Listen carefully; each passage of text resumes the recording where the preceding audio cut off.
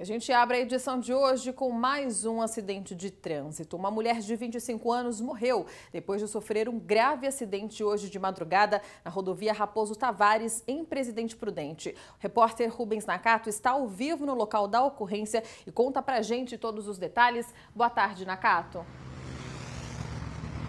Boa tarde, Jéssica. Boa tarde a todos. Olha, a gente está aqui às margens da rodovia Raposo Tavares, onde aconteceu aí esse trágico acidente, né? Na altura aqui de bairros da zona oeste da cidade. Segundo informações da polícia, essa mulher, ela dirigia, né? Seguia com o carro naquela outra direção, vindo do sentido oeste para leste. Quando chegou aqui nesse trecho, ainda por motivos a serem esclarecidos pela polícia, ela teria perdido o controle da direção, capotou o carro. Foi nesse momento que o corpo dela foi arremessado para fora do veículo, ficou na pista, né? E por conta disso, vários veículos acabaram atropelando essa mulher. Ainda de acordo com a polícia, ninguém parou para prestar socorro, viu?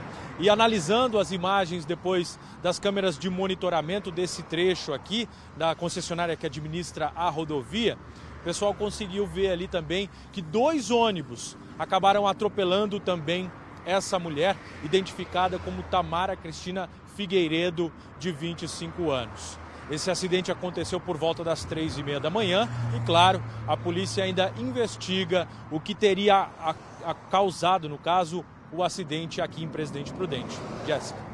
É realmente uma tragédia, né? Infelizmente. Nakato, obrigada pelas informações ao vivo de Presidente Prudente.